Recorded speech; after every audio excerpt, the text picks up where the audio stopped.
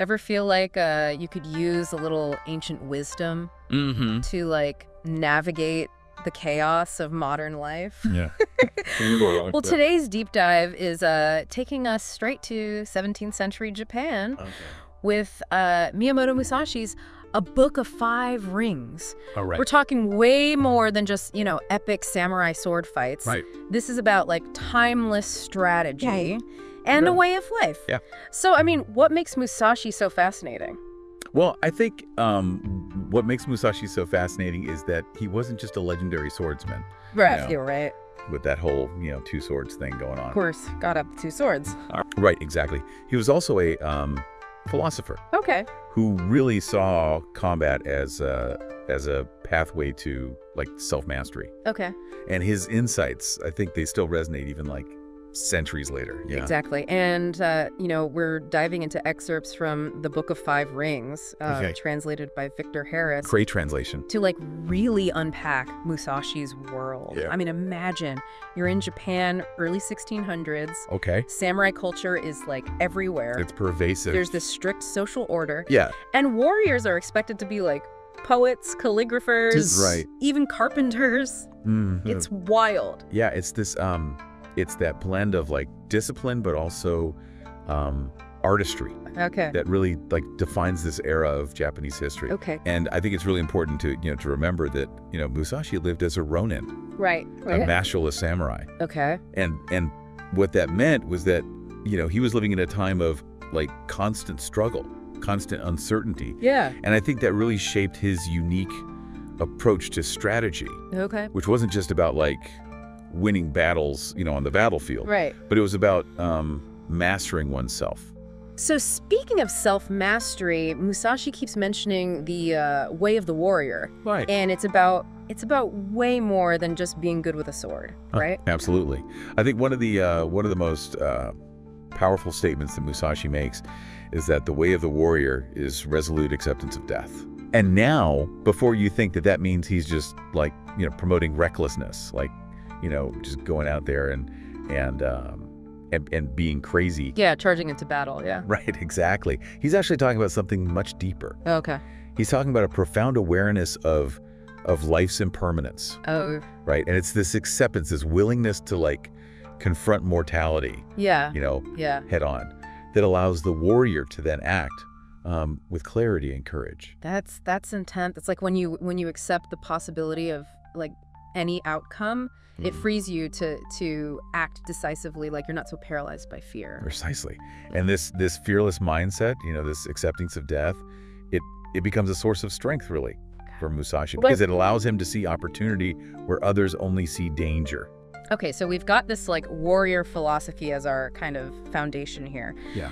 But Musashi also gets into some like seriously practical stuff about, you know, fighting techniques. Oh, absolutely. Right. This Yeah. is where his uh, this is where his famous Niten Ichiryu, the two sword style, comes in. Right, and this fighting style, it you know, it's all about fluidity, adaptability, and it, it really um, exploiting your opponent's weaknesses. Mm. You know, finding those openings. Okay. And Musashi even compares it to um, to water, Okay. which, um, as he writes, adopts the shape of its receptacle. Right. Right. So he's not just talking about like physical strength here. Right. He's talking about cultivating a mind that can that can perceive and exploit opportunities um, as they arise, you know, in the moment. Reading through the Waterbook section, like some of the techniques he describes are just they're fascinating. Yeah. Like the red leaves cut, where you you disarm your opponent by like knocking their sword away. Right. Sounds straight out of like a martial arts movie. It does. like how would you even? right. I don't know. It's very visual. Well, and I think that's I think that's the beauty of Musashi's approach is that he he really understood that true mastery in combat, um, it wasn't just about like brute force, right? Right. It was about using like your entire being, your body, your mind, your How- spirit Okay. to to gain that advantage. It's like it's like Musashi is saying, don't just like train your body to fight. Train your mind to to see the fight before it even begins. Exactly. Yeah. And this brings us to um, to a really, I think, intriguing concept that Musashi emphasizes throughout the book, and that is timing. Okay. Timing, timing, timing. He even says at one point, there is timing in everything. Right. And he's not just talking about being, you know, fast or slow, right? Yeah, right. He's really talking about understanding the rhythm of a situation Okay.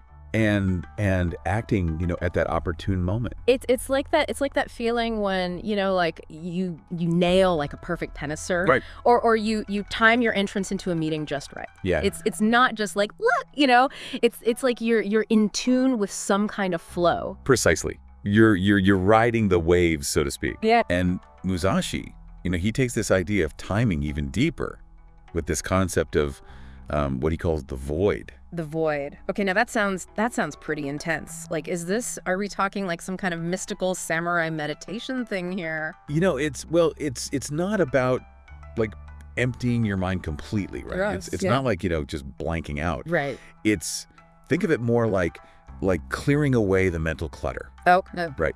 So all of the the preconceptions, the distractions, the anxieties, like all of that stuff that prevents us from from really like seeing the world with clear eyes. So it's so it's less about like becoming empty and more about kind of being present and open and and ready to respond kind of. Exactly. Exactly. You've you've hit the nail on the head, yeah. Oh. Um and and in fact, you know, Musashi writes in the void is virtue and no evil, Mm. right? So it's Mm. about it's about achieving this state of mental clarity that allows you to then act um without hesitation or self-doubt. It, it reminds me of that saying be like water, my friend. Yeah. You know? Right. Adaptable, flowing, finding that that path of least resistance. Perfect analogy. Perfect analogy because Yeah. you know Musashi he he believed that um, that by mastering one thing completely, Mhm. and, and for him it's swordsmanship. Right. But but he says you know by mastering one thing you could actually gain insight into all things. Hmm. So the principles of, of the void they they apply you know whether you're whether you're facing an opponent on the battlefield Right. or or a challenge in your everyday life. So like how do we actually how do we actually cultivate this void state? Yeah, that's the that's the million dollar question, isn't it? It sounds like something that takes like years of of disciplined meditation, you know. Yeah, yeah. I mean, I, I don't think Musashi would would give us a, a step-by-step guide. Right. Oh, you know, he'd probably just say something like, you know, discover it for yourself through practice. Right. But but he does he does emphasize um, the importance of continuous learning. You know, he, he talks about studying the the ways, as he calls them, of all different professions. Okay. Um, and so for him, you know, the the path to the void wasn't about like isolating yourself from the world. It was about engaging with it deeply. You know, constantly observing, constantly learning. So it's so it's about becoming like a student of life, always curious, always kind of seeking new perspectives. Yes, exactly. And it's and it's about, you know, pushing past our comfort zones. Okay. You know, questioning our assumptions, being willing to to let go of of outdated beliefs, you know. Right. It's this continuous process of of self-discovery and and refinement. This all this all sounds very like Zen. Was was Musashi like influenced by Zen Buddhism at all? Oh, absolutely. Absolutely. Yeah. Zen philosophy was um it was deeply ingrained in in samurai culture at the time. Okay. Um and and the emphasis on, you know, mindfulness and discipline and this kind of like intuitive action, it it aligns perfectly with with Musashi's way of the warrior, you know. Right. It's it's amazing how these ideas from from centuries ago, from from like a completely different culture, you know, still like resonate so strongly today. Yeah, yeah. And and it, it speaks, I think, to the enduring power of Musashi's insights. Okay. But but I also think it's important to remember that, you know, a book of five rings, it it's not just about this kind of like lofty philosophy, right? All right. You know, Musashi also gets into some pretty uh pretty hardcore critiques of of other fighting styles. Oh yeah, that's right. You know, in the the Wind Book section in particular. He's like calling out other swordsmen like left and right basically. Sounds like sounds like our guy wasn't afraid of a little controversy. Well, no, no, he certainly wasn't, and and and I, and I think you know, again, it's it's less about ego with him. You know, Right. it's more about I think emphasizing the importance of of having this kind of broad understanding. You know, Okay. He believed that that by studying the methods of others, even even your opponents, Mhm. you could actually refine your own techniques. You could learn to anticipate your opponent's weaknesses. Keep your friends close and your enemies closer. The classic strategy. It's like he's like, if you want to be the best, you gotta you gotta study everyone, even even the ones you disagree with. Uh, There's there's real wisdom in that. Oh, absolutely. And and you know, Musashi, he he wasn't afraid to challenge like conventional wisdom. Right. You know, like the Wind book, he he criticizes schools that you know rely on like an excessive number of techniques or or overly rigid movements. Okay. You know, he calls it he calls it um, selling the way, Mm. where where it's more about like you know prioritizing flashiness over like true effectiveness. Yeah, it's about it's about stripping away the the unnecessary, right? Yes, exactly. Getting down to like the core principles. Mm, Kind of kind of like like what we're doing right now with this with this deep dive. right. We're we're taking this like, you know, dense complex text Yeah. and we're we're trying to like distill it down to its its most like potent elements. Yeah, and in a world that's just like overflowing with information these days. Right, exactly. That skill, the ability to just like discern what's essential. right. It's it's more valuable than ever, I think. So, so we've we've covered a lot of ground here, right? Yeah. We talked about Musashi's life, his philosophy, his fighting techniques, um, his critiques of, of other schools, and then even this this idea of of the void, right? Yeah. It's a lot. It's it's a lot to like digest. it is. For for someone listening who's thinking like, okay, this is this is all fascinating, Right. but but like, how do I how do I actually apply this to to my life? Right, right.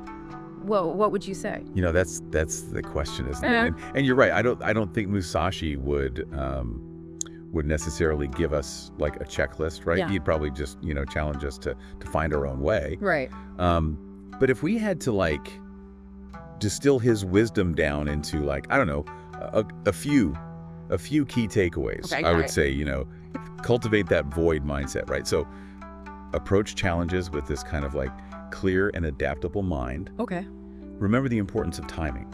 So observe, sense the rhythm of a situation, Yeah. and then and then act decisively when the moment is right. And and never stop learning. Yeah. Right. The, the path to mastery, it's it's a lifelong journey. It's not a destination. Exactly. It's about self-discovery. Beautifully, beautifully put. It, it strikes me that, you know, while Musashi's uh, words were written centuries ago about, you know, the art of swordsmanship, they really do offer like a timeless blueprint, I think, Hmm. for for na- navigating, you know, just the complexities of life itself. Yeah. You know, it's it's about cultivating like clarity, adaptability, Mm-hmm. and and like a deep understanding of of ourselves and the world around us. Absolutely, yeah. And I think that's that's what makes a Book of Five Rings so enduring. You know, Right. It's not it's not just a, a manual for combat. Right. It's it's a guide to to living a more I think a more strategic, a more intentional, and and ultimately I think a more fulfilling life.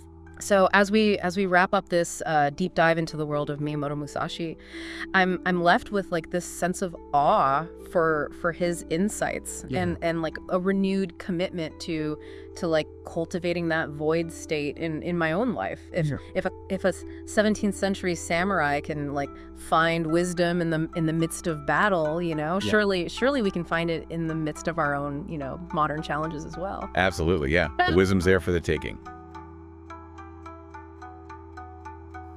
Thanks so much for watching. We spend a lot of time putting these videos together, so if you like what you saw, go ahead and hit that subscribe button. And give this video a like and a share to anybody you think might like it. And if you have any thoughts or suggestions on the video, go ahead and leave a comment. We make sure to read them all. Thanks, and see you next time.